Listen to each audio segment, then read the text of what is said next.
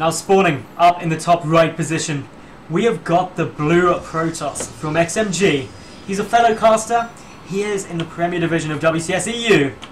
He's a giant, and he's ToD. And his opponent, spawning in the bottom left-hand corner as the Red Terran. He might not be such a giant, but he has a chance to try and get himself among the greats today. Will he be able to do it? Guys, let's give a cheer for the underdog. You never know what these players might come up with here, and I'm looking forward to seeing some fantastic play. It is Duggi. Neoplanet S is one of these maps which leads to funky games. It's true. I'm true, man. definitely thinking funky game. I don't know. I've, I, you know when you just get that spidey sense, caster sense, whatever you want to call it, of something sneaky and a bit crazy could be going on. Yep, it's possible. This game. Uh, I wouldn't bet against it. I mean, we're certainly going to see aggression. Neoplanet S is known for that. Rarely do you sort of get into positions where people are basically just harassing each other for half an hour and it's got absolutely nothing. Uh, but, you know, you're going to see aggression off of two base because it's a little bit difficult to get that third. There are no watchtowers where you can see absolutely everything else as well going on the map. It just lends itself to that kind of play. And we already see the gas coming down for Duggi. This isn't going to be a gasless expand for him. In the meantime, second pilot going up. So no super early shenanigans coming out from ToD here just yet. And the cybernetics core going down in an interesting place behind the mineral line here. It is an odd place to put it. Now, I want to talk a bit about things that ToD could be looking to go for, and that Duggi could also be looking for. Drops, airplay are both really strong. Specifically drops actually for Duggi potentially, but you can dart him from the third position into main very comfortably, very quickly, with a good getaway path. It can be awkward to try and make it hold, so we'll wait to see what is going to happen there. And yeah, Reaper's openings, it's good. It's one of the better maps to go for Reapers on. There's a good amount of cliff area you can utilise, but probably not going to be a killing blow. No, definitely not here. The Reaper is going to be popping out as the SCV goes towards the low ground. So it's going to be a fairly bog standard Reaper expand here to start off with from Duggi. A nice versatile little opening. Notice this Reaper is on move command, by the way. It is on attack move to try and pick off any probes it encounters along the way. Nice little touch. Now, mothership cores. We know, of course, in PvP earlier today, the mothership cores can be pretty awesome. Whoa, they can make or break things, but it's gonna it's gonna just force back that Reaper to scout out the natural nexus. ToD is going fairly standard, one gate expand, getting his mothership core there, everything a okay. And I'm so pleased. I, I, I, we're looking at the game, so we don't actually have time to see too much of what's going on in the chat. I just read someone say, This is the greatest stream ever. Immediately followed by someone saying, Stop! Which I think is absolutely brilliant. Really Look, goes to show us how he's making little stars. Look at him. Duggi showing off for the crowd here. And, uh, well, he's basically buying time at the moment Yeah. uh, until he goes back in again. He's obviously waiting so that he can go back in and check out what kind of tech. And uh, ToD has chosen the robotics facility on this occasion, and he's hoping to be able to uh, prevent the Reaper from scouting it by having the mothership core go up via this way in case the Reaper is there. However, it is not. It's at the natural nexus. And, uh, ooh, is he going to go into the main base and try and scout this? Look at this. The Stalker going up. ToD does not want him to see anything. ToD is he's in beast mode right now. You can tell he's just like laser focus. not messing around, not taking any risks. This Reaper is not getting in my base and is not going to be killing any of my probes. Simple as that. He hasn't even seen the robotics facility, No. so let alone killing probes, he just hasn't been able to do any scouting. And that really is the primary reason why these Reapers tend to be quite useful going into the mid game. Okay, will he be able to get into the base? Yes, he will. Can he get away from the mothership core in the Sentry? Just about. Has he seen the robotics facility? Yes, he has. Okay, good.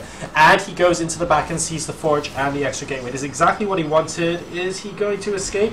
Nope. In fact, a giant explosion involving a jetpack next to the probes you'd think would do some splash damage to them, but apparently not, because health and safety in the year 2552, someone's going to correct me in the chat on lore in a second, is actually quite good. Yeah, it is. Even even though they give all of their soldiers tons of drugs, It's true, man. like Why couldn't combat drugs save him then?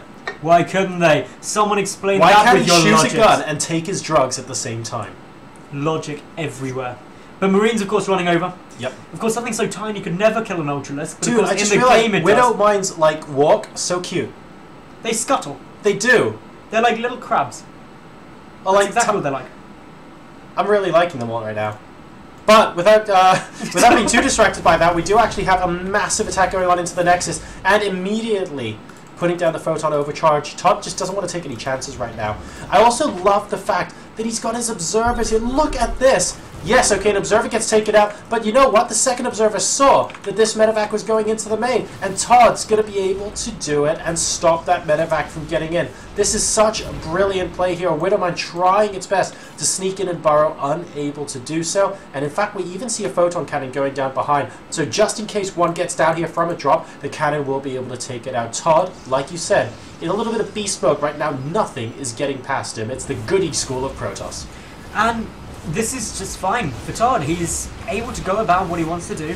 He is taking this game to go on his terms, which is actually really not what Duggi's wanting. Duggi's trying to be aggressive, trying to make the Uh. decision, and that will mind.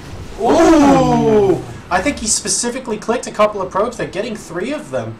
Uh, we we were watching that one probe over here by the middle, thinking, Yeah. "Oh, it's going to get a probe." Fair enough. And then it got three.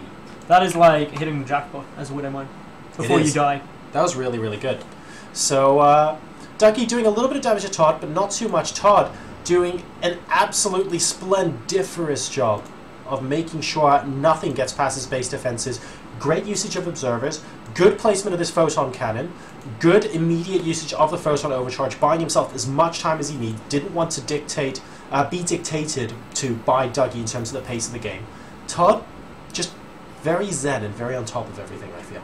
He's prepared for whatever may come at him, and that is fine because he's just going to be able to macro up and get himself into a relatively good position. We see that hallucinated phoenix is coming through, and it's just going to be like, I've got all of your scouting informations. I know what you're doing. I know what you're getting, and I'm going to get more. He's getting straight away down. Well, That's he does, our next storm. ToD does have to be a bit careful though, because Duggi's next push has the potential to be an absolute monster one. Look at this. Stim and Combat Shield both on the way here inside the main base at those barracks. We have plus one, plus one. Actually, almost complete already. They will finish before Stim does. Um, so, and he's getting those medevacs out right now as well. So, potential I would say traditional MMM push, because we don't see too many mines over here, might end up being really, really good for Duggi uh, within the next three minutes or so of in-game time. We'll keep a watch on that, as a couple of drops are attempting to make their way into both the main and the natural right now. And ooh, High Templar is being warped in, but Duggi able to escape the clutches of those evil Protoss spellcasters just in time. Now, Storm is about to finish. This is the point where you get very scared as a Terran player because you're like, well, all of my army can just evaporate. Duggi has to be so careful now because storms could ruin his day. It is as simple as that. But he does. Storms ruin a lot of days, man. He doesn't nearly have his Ghost Academy done. Nearly. Well, plus two armor is now done for ToD, which uh, could lend itself perhaps a little bit later on to potential uh, charge lot Archon play. He does, of course, already have charge on his Zell, so that definitely makes sense. So uh, grabbing some of those storms, followed up by some Archon play, would be very, very natural for him. And charge Archon, a really good composition to use against, well, hey, Bio. And we're going to be seeing a lot of that popping into the natural expansion from Duggi in just a moment. The Medevac's being a little bit trigger happy here. You don't want to be losing a couple of those before the fight begins. But uh, this is a lot of DPS. Will it be countered by Amazing Storms? The storms are going to make or break this. The force fields could be essential. A couple of Marines going fast forward. And there's the Guardian Shield. Charge lots doing some nice damage. Oh, Storm miss. Oh. Oh. Storm hits. He's mainly hitting the Zealots at the moment, actually. But the Stims, combined with a slight hit from the Storms, mean that Duggi does actually have to go back and heal at this time. We see, uh, don't know what this guy wants to accomplish there, but disobeying orders from your direct commander ends up like that. And in the meantime, ooh, he's actually going to be lifting up in a double drop.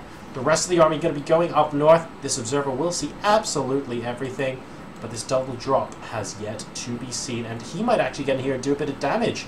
It's not just a couple of casual units. This photon cannon will get taken out if the army isn't there. And uh, ToD's currently being distracted by this lump of bio over here. Here's a couple of charges going in, and here comes the double drop that you were talking about. The cannon is working its way through. Unfortunately, though, stops targeting the medevac. Back come the High Templar. Back come the charge lots. That's the sort of storm that ToD was looking for. That was not pleasant. That was not a not a good time to be a Terran player. Definitely not. And uh, all of a sudden, Duggi's uh, Duggi's force is just looking a lot weaker. He has got a number of Hellbats back home, including the flag bearers of this army, a couple of SCVs with some minerals attached. Because hey, why the hell not? Um, so this follow-up push could be good, but here's where I foresee the problem: number of medevacs on the field. You're looking at it. This is not the number of medevacs you want to support an army that can be healed that's this large. Yes, he has EMPs, and if he gets fantastic EMPs off this army, could do really well anyway. But that's a big risk to take. He needs to build up those medevacs again, get a minimum of five or seven with this army if he wants to sustain push here. That's such a good point. No matter how good that medevac may be, it needs some friends, and it is Sure. getting some. Like this is no lone wolf game. It is all about safety and numbers, and especially with the medevac. So Unless he has a Thor. unless he has a Thor, Thor's oh and Odin. Oh, dude, Odin. I, I, I really want so badly for Odin to be a playable unit in multiplayer. They looked at it for Heart of the Swarm. That would have been amazing. They were gonna do it, I know. It and was then so they were just like, no. I We was actually looking like for- Thors. I was winning. I was looking forward to winning every game. Odin rush, standard. That'd be a switch. But anyway, Oh, and he passes straight underneath this overseer. No, he's not going to see it. yeah, that observer got a great view of everything there, and now Hero Marine. Oh, Hero Colossus. yeah. My Colossus is more hero than your Marine. Right now, the number of storms in this army is actually considerable right now. Two more. Oh my goodness, those storms actually did a decent amount of damage. There are still a couple of High Templars left here, though. Will he be able to get those storms off? Oh, Those look at the storms on the high ground! Oh, excellent Boom. storms from the high ground there. That is really what he needed. Where are the ghosts? The ghosts need to do something. Oh, he's going in. Can he snipe these off? Nope. Photon Overcharge says no. Now, he has split ToD two ways. So there's some High Templars kind of warped in here with a lot of energy, which is great, but the bulk of the main army is over here. It's a little bit frustrating to deal with right now, and, oh, nice. Good feedback. We've got a storm coming down as well. Another feedback on a ghost. And, uh, Duggi isn't actually doing very much with this army right now. He's keeping ToD very, very well split, though, and I really like that. And that might be because there's a couple of zealots here being very, very annoying back at home. Yeah, just picking off reinforcements as they make their way over. But there is a good storm heading up towards this third, but there's not that many units. there. Oh, massive storm! Oh, and ladies and gentlemen, this is what everything in the red, but oh god, don't stand there! Don't do GG. I mean, that was good. That that's St- Storm. That was- Ow. I was